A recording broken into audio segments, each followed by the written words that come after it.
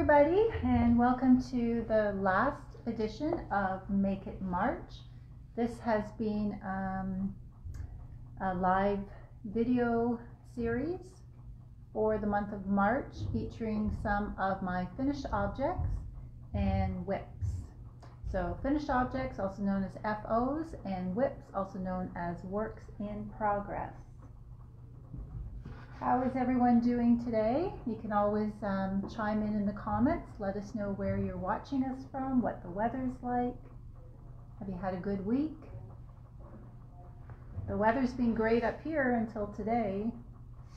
Now we're going back into the cold and icy section after a week of sunshine and double digit temperatures. Hi Rhonda, hi Diane.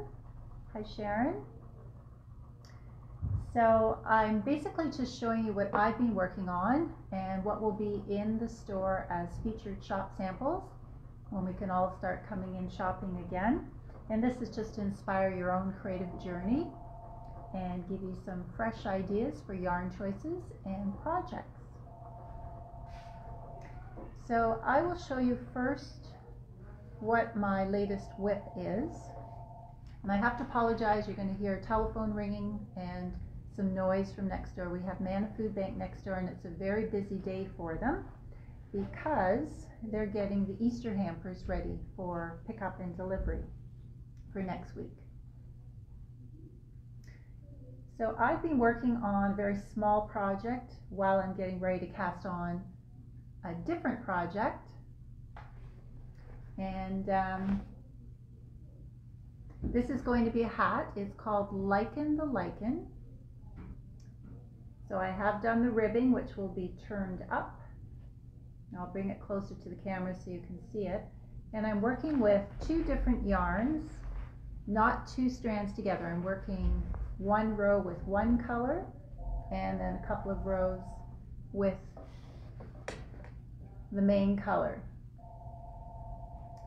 So my main color is all natural, undyed, llama worsted, which I can never get enough of. It's beautiful to work with. It just feels so natural and rustic, and you can feel the lanolin that's still in the fiber.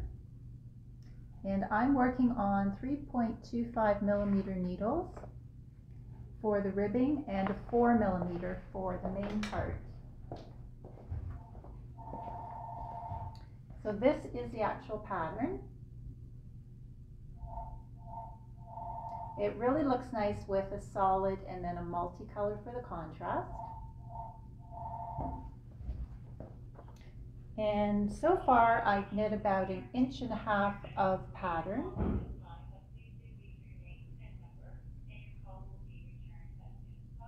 Really fun stitch to do. You never get bored of doing it. It makes these little clusters, which should resemble lichen on the granite rocks in Muskoka. So knit two, purl two ribbing for the main brim, which you can fold back.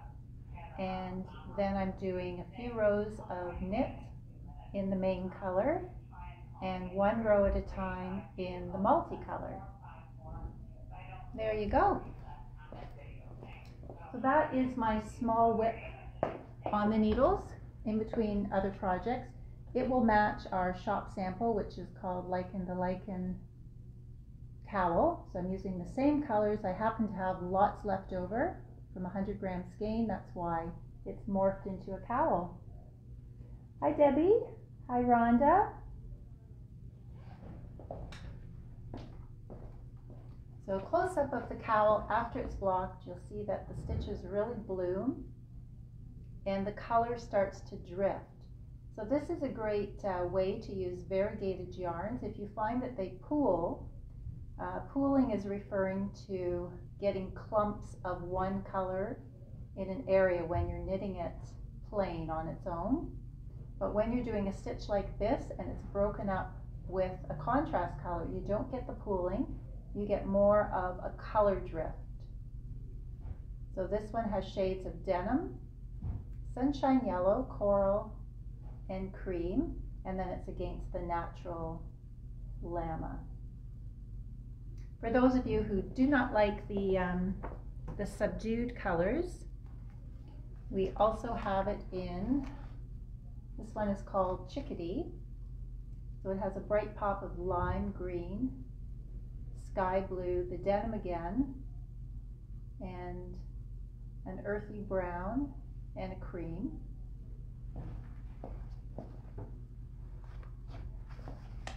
and a very lively one called Hummingbird, which has the aqua, the lime green, some pops of um, cherry pink, and periwinkle blue, and a bright yellow.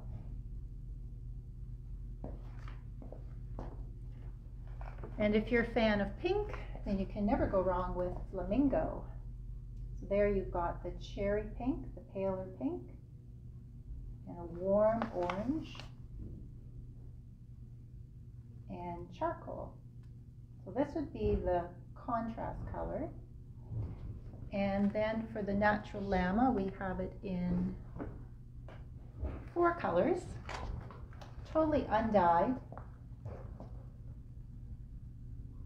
So some tend to be a bit more into the gray family, and some are into the warmer beige family. And then the top right is the natural cream. It is a DK weight, 100 grams, and I'm pretty sure that if you knit the hat, you'd have enough left over to do the cowl. I think some of you may have, have knit both, so maybe you can chime in and let me know if I'm telling the truth, if you really do have enough with 100 gram of your contrast, 100 gram of your main, to do both the cowl and the hat. This may look small, it's just because I'm knitting on a short circular needle, which I find is easier for me to knit faster, but it will be an adult size when it's blocked. And then I also have another work in progress to show you. Um, if you're wondering about the patterns, I'll post the links down below after the video airs. And I know you're all wondering about this one. I'm going to get to that one. So I have been also working on my granny stripe blanket, which is crocheted with my with all my leftover fingering weight and sock weight yarns. So I think now I am probably halfway to the finished length that I want for a little girl's birthday gift. And this has many, many different leftover yarns in it. Memories of all my favorite sock projects, cowl projects, fingerless mitts, and even a few sweater projects. I'm trying to stay in a little girl's color palette. And then every time I finish 16 rows, I throw in a couple rows of that soft kid mohair, the fluff yarn. So you can see here, I put in some in the cream, and then I alternated with the pale blue, and then I'll go back to the cream and the pale blue. So this is a very simple crochet pattern. It's a free pattern on Ravelry, and I'll post the link below, of course. It's worked on whatever size hook you want to work it on and whatever width of stitches you want to work with. Um, I've chosen a four millimeter hook to work with fingering weight yarn. I had a customer today who's doing hers in worsted weight yarn and she is using a six millimeter hook. There's many ways you can work the pattern. It's a basic recipe and then you can just do whatever you like. Yes, Diane, I think she will lo love it. I have to finish it for June, which is her birthday month. So again, it's my in-between project. When I'm tired of working on a knit in-between project, I can go to crochet. And for those of you who crochet, you know it goes extremely fast. So every row of crochet in this blanket is like doing three or four rows of this sort of tension in knitting. So you get a really nice boost of productivity. And I guess I will just get right to a finished object. So I posted a little teaser pic today on Facebook of the lace work. This is the poncho that I was showing partially knit last Friday and I did finish it over last weekend. It knits up super quick, 6.5 millimeter needles if you can believe it, for a very lightweight uh, sport to DK weight yarn. Uh, the secret to knitting this poncho and getting a really nice result is you have to really think of your blend. Either work with a pure linen or a linen blend because you need that loose effect and you need it to drape nicely. You don't want it to hang so that the edges curl up at the bottom and you don't want it to have the weight of a pure cotton. So this is a linen blend with some cotton and some bamboo. And we have lots of beautiful colors, so I had a hard time deciding what color to do it in, but I had that coral theme on my mind from seeing coral in some of the um, online fashion stores. So it turned out great. It is four balls, 50 grams, and it's knit all in one piece. There is a seam here that you have to sew up after. I'll spin it around so you can see. And that creates an armhole and a side bend. Uh, the borders are knit in garter stitch as you go. So you're casting on at this side and you're knitting across all in one piece. When you get to a certain measurement, you have to divide so that you're working on the front and that will divide for the neckline. And then the back is left on a needle. And once you finish the front measurement to finish the neckline width, then you go back and work the same pattern on the back and then the two pieces will meet up and they merrily knit themselves together the rest of the way. So it's got that nice asymmetric look, which is very popular, and it's so versatile. I was um, hoping to get some outfits from our vintage clothing store in the building today, but she's closed, so that I could show you what it looks like over a sleeveless sundress, over a loose t-shirt.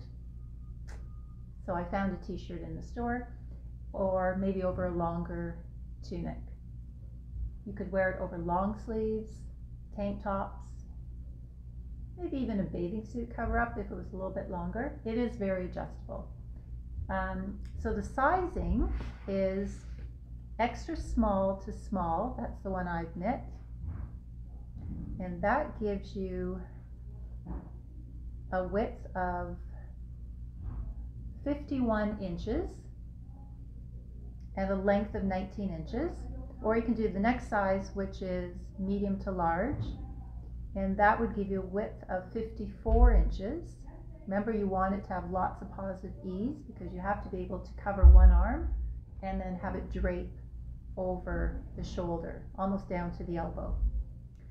So medium to large is 54 inches wide, 21 inches long, and large to extra large will fit 57 inches around and 23 inches in length. But again, it's so adjustable because if you're casting on here, once you finish the, the fancy work pattern, there's two different um, pattern stitches in here, then you could just add in extra width or, or extra rows here before you start shaping the neck and you can also make the neck wider or narrower. So I'm going to share a few tips about the pattern. It is called Oasis and it's um, a Ravelry pattern. It's been around for probably about four or five years and I've had it in my queue so I finally had some time to knit it. And it's uh, designed by Yumiko Alexander. Most of her designs on Ravelry, Ravelry, if you take a look, are all asymmetric and very flowy and loose. So that really fits the theme for this year because I think we're transitioning well from indoor loungewear from the winter to loose, dressy cover ups for spring and summer. Hi, Selena. Hi, Lorraine. Um, so yes, it is knit on a 6.5 millimeter. You can use straight needles or you can use circular. The only fancy stitch that you may not have done before is this cable stitch, which I call a witch's broomstick cable.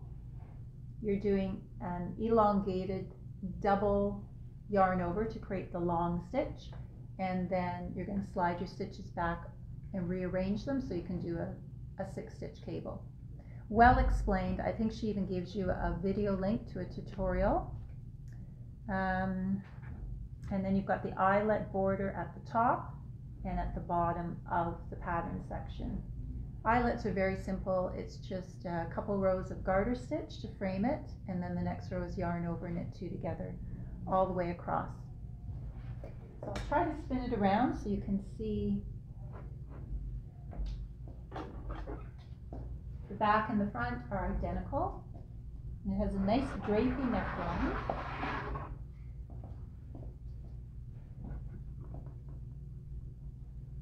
So this side has the armhole.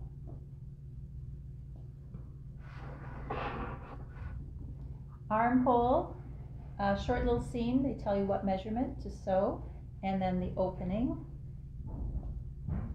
And then the front again, with that lovely neckline, very dressy.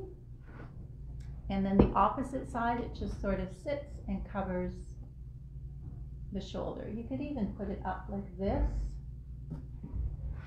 and create more of a drapey cowl or shawl.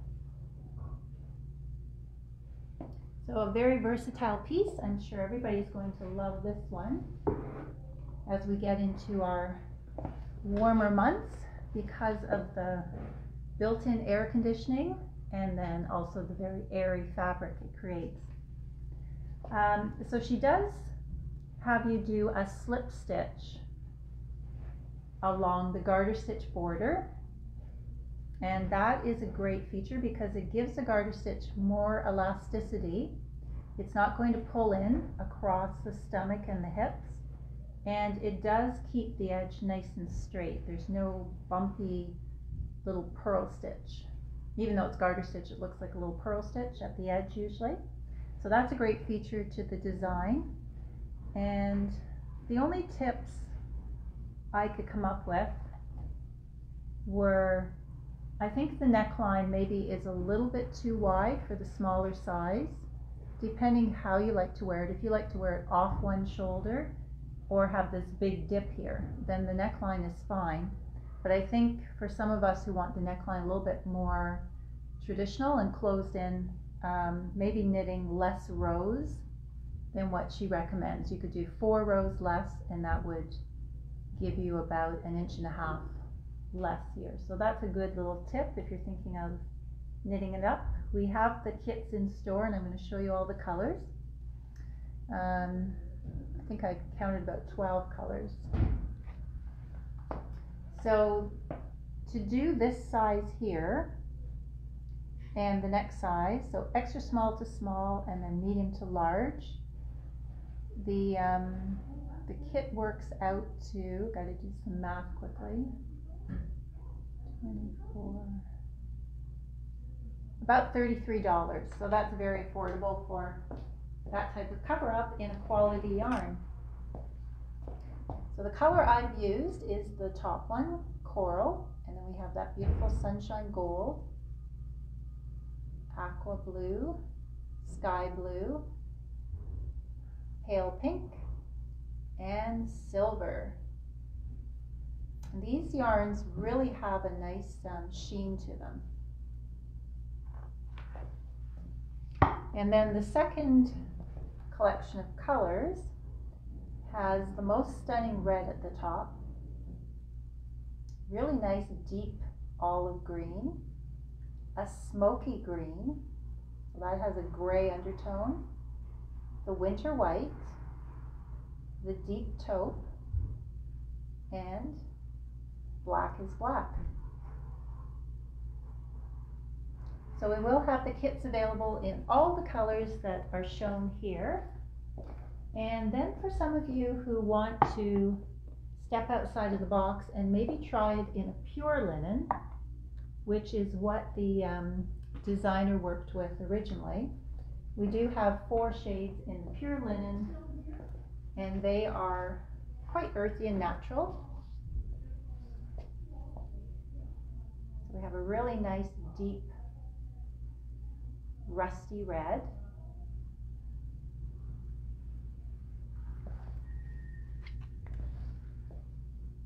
And white.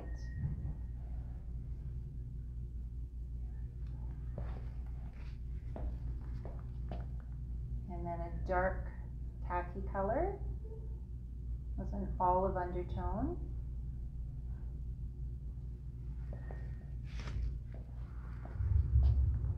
And that nice sand linen shade, sandy beige. So those are the four shades in the pure linen. You don't have to make any changes to the pattern in terms of needle size or number of stitches. It will all work out um, exactly to the same size as this one. The only difference is when you work with pure linen, um, you get more of a, a stringy open texture. So the stitches won't fill in quite as nicely as this. And um, it'll have even more of an airy effect. So those are your choices, pure linen or partial linen. And um, so what does everyone think? Is this something that they would wear?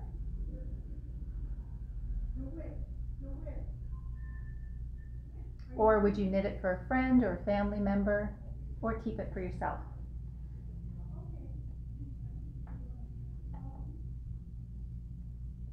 Diane, the yarn is called Fiore. It is a yarn that you've worked with before. I think it's one of the yarns that you really like for the summertime. It is very classic. Okay, so I think what I'll work work towards now is what you're also really waiting for. Um, this was a finished object too, called Milo, and I showed it to you last week. It's, um, oh, I think I have a few knocks at the door. Um, I'll be right back, one second please.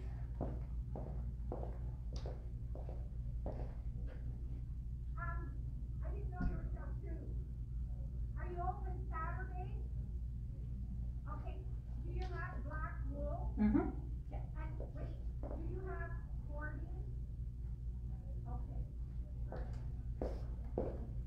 Um, yeah, so, oh, okay, so I, I promised I would show all the colors for our upcoming spring knit along, which is starting next Friday. And it is called Dancing Dragonflies. And it is going to be a pair of mittens. So there is a color picture here. You can also see a picture on our events page.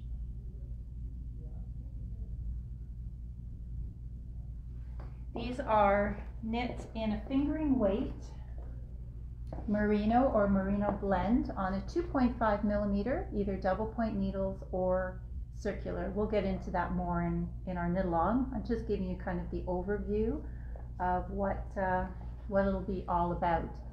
So the knit along will start next Friday at 3 p.m. live, and um, we'll go every Friday during the month of April, 3 p.m. Don't worry if you cannot join us live because the video does stay in the video section forever on Facebook, and you can also access it in the event page.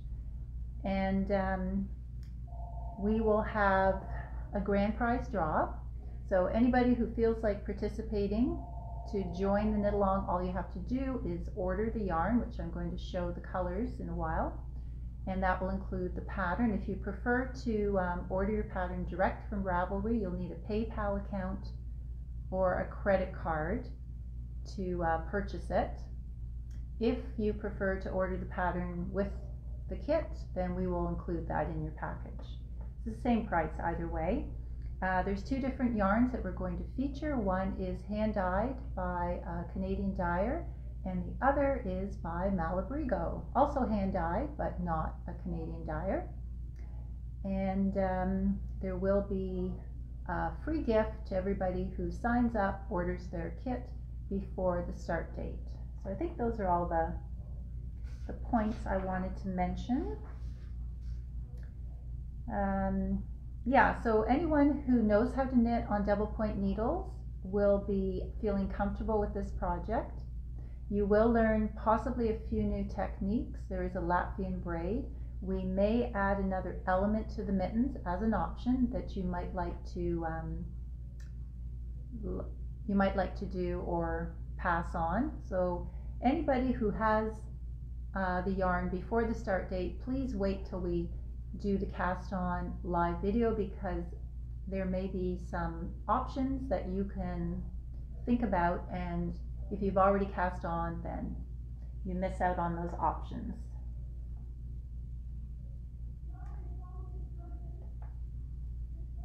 Is the blend linen softer to knit with? Uh, Selena, yes. If you're knitting with a linen blend that has some cotton and bamboo in it, it's much softer on the hands, softer to wear. And um, I think you find that your tension knits up a bit more consistent. If you're knitting with a pure linen, it's a very stringy type of yarn. It's probably the coolest fiber that there is in the summer though, so it does have many advantages. It has its own relaxing memory. So when it's blocked, what looks like a squiggly mess of uneven stitches will even out nicely. So you have to have faith that when you soak it in the Eucalan wool wash after, it will really come out nicely. I do have a, a sweater in the store that's knit in the pure linen, so I'll bring that to the camera so you can see the difference of the pure linen knit up compared to the blend. And then I'll show all the colors for the knit along.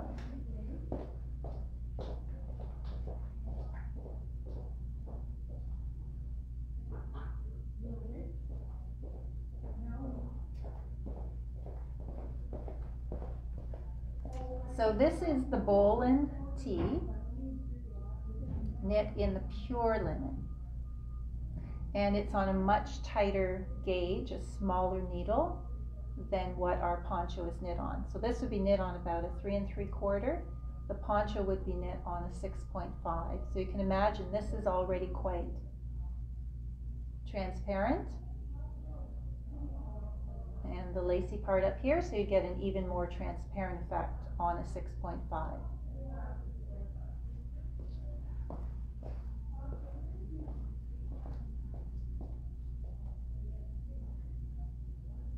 So I hope that gives you an idea of the difference between the fibers. Um, yeah, so I'm going to show you the color combinations live because it's always nice to see them on video. It's almost like being here in the store. But then I have I will post a picture in the events page. I've taken photos of the groupings of the different combos. So that will be probably in the next hour if you want to see them on um, the event page. And there will be 16 color combos altogether. It seems like a lot, but um, everybody has different colors that they prefer. And because there's two colors, there's a main and a contrast color that just makes more variables. So I'm going to bring all the colors up to the camera. So starting with Riverside Studio, which is our Canadian dyer. This is the gorgeous Cashmere Merino nylon blend. So we have the medium charcoal, which would work as the main color. So I'm going to go through all the colors that would work with the gray. And keep in mind that your dragonflies do not have to look like actual dragonflies. You can be as abstract as you like. So that is in no particular order, that's just one of the combos. When you look at the post, you will see that I've numbered the combos.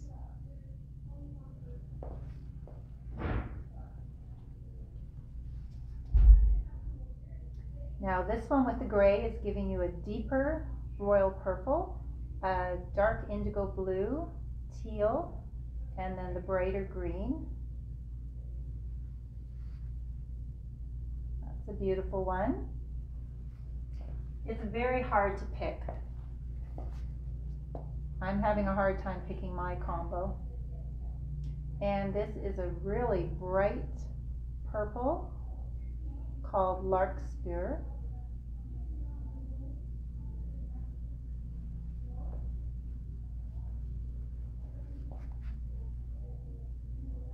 And then for those of you who like the, um, the fiery colors, this is a very warm, medium red with pinky undertones and some bits of gray. So they would coordinate well together.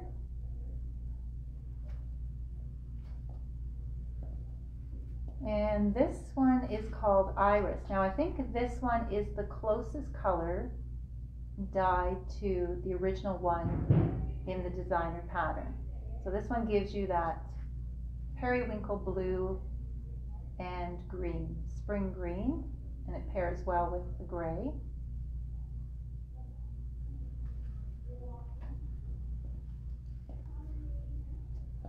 And then we've got one that is um, speckles in medium purple, dark purple, teal, periwinkle, Okay, so those are the ones that um, pair nicely with the gray. And now we're going to go back through and show how they look with the indigo blue instead of the gray. So I'm showing you the same contrast colors, but I've changed the main color. So the indigo blue goes into a really dark midnight blue. It's a semi-solid.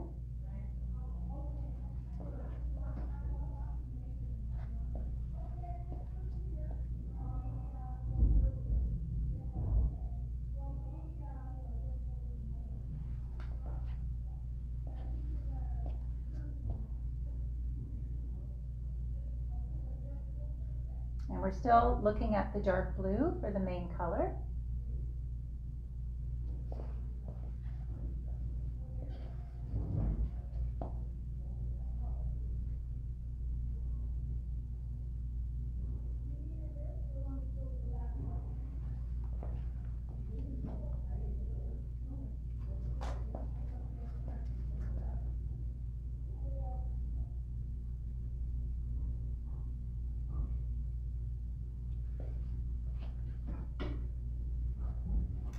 Now I've forgotten if I've shown you this one. There should be altogether six contrast colors from Riverside Yarns and two in the main color. So it's either choosing the medium gray or the navy for your base and the one of the six contrast colors. For those of you who have not knit with Riverside um, Studio Yarns, her merino cashmere nylon base is just so decadent. It's very hard to resist. Now I'm going to show you the color combinations for the substitute yarn, which is a merino, and it is Malabrigo superwash merino, so it's machine washable in cold water. So we have two base colors for the Malabrigo. We've got one called Soot, which is a dark gray, and then we have a jet black. The jet black will of course be closer to what the designer used in her original pattern. But that doesn't mean you can't change it up. Okay, so we've got the soot with this beautiful periwinkle, turquoise,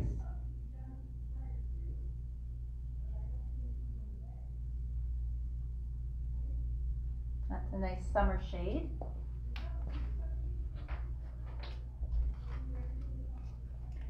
And then again, the soot gray with a green blue mix.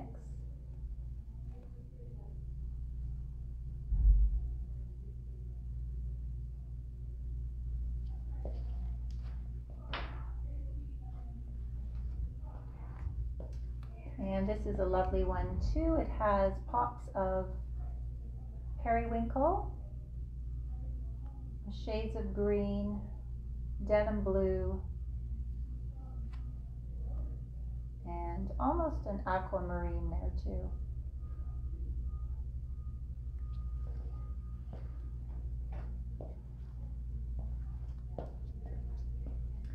And this is gorgeous. This has corals, hot, hot fuchsia pink, and that would give a really nice contrast against the soot gray.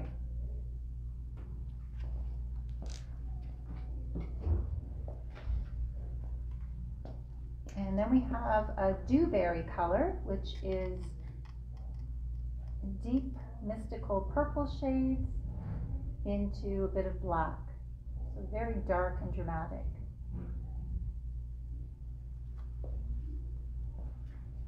So now I will go through the same five contrast colors, but now we're pairing them with the jet black. You can't get any blacker than this shade from Malabrigo. So this is the pretty periwinkle blue teal aqua mix.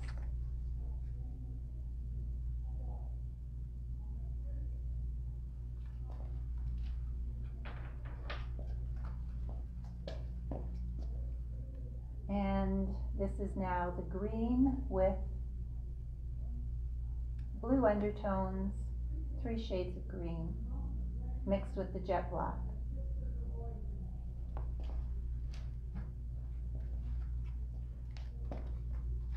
And the black with the dewberry. It's almost like a neon purple on camera. It does have some dark gradual shading in it not all bright.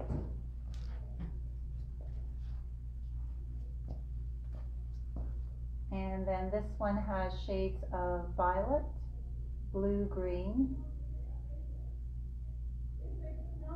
Again with the black.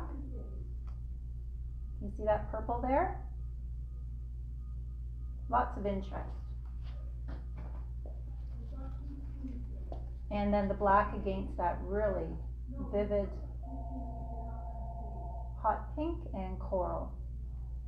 It's not really showing up on camera, but there is a nice um, flamingo shade here and a sunset coral.